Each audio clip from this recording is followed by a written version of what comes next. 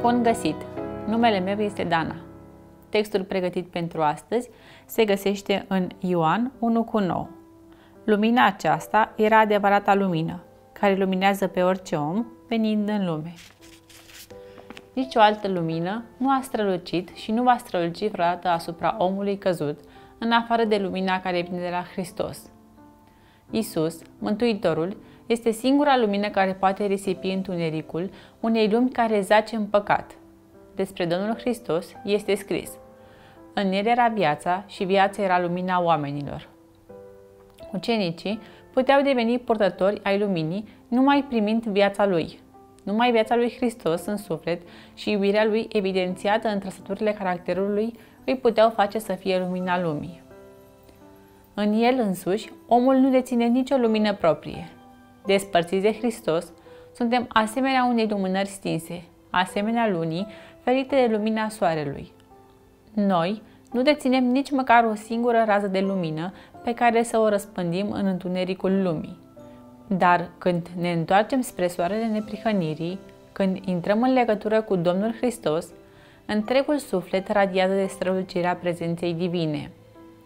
Urmașii lui Hristos trebuie să fie mai mult decât o lumină printre oameni. Ei sunt lumina întregii lumi. Tuturor celor ce poartă numele Lui, Domnul le spune, Voi v-ați consacrat mie, iar eu v-am trimis în lume ca reprezentanții ai mei. Așa cum Tatăl l-a trimis pe Hristos în lume, tot astfel declară El, i-am trimis și eu pe ei în lume. Așa cum Tatăl s-a făcut cunoscut prin Isus, tot așa Isus trebuie să se facă cunoscut prin noi. Deși Mântuitorul nostru este marea sursă de lumină, nu uita creștine că El se manifestă prin oameni.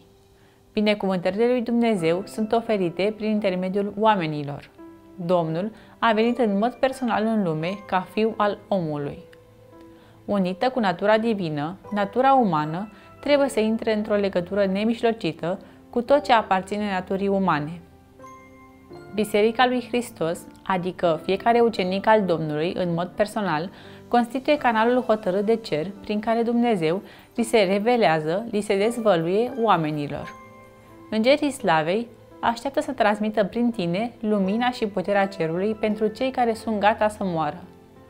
Oare instrumentul uman va eșua în îndeplinirea misiunii ce a fost încredințată? Dacă el eșuează, în ce măsură mare e lumea privată de influența promisă?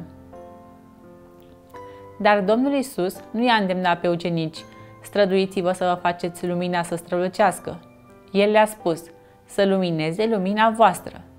Dacă Hristos locuiește în inimă, lumina prezenței sale nu poate fi ascunsă. Dacă aceia care se declară urmașa lui Hristos nu sunt lumina lumii, aceasta se întâmplă pentru că puterea vitală i-a părăsit. Dacă nu au nicio lumină de răspândit, înseamnă că nu au nicio legătură cu sursa luminii. Eu oare luminez? A cui cărare va lumina Isus astăzi prin intermediul meu? Te invit astăzi să fii o lumină pentru cei din jurul tău.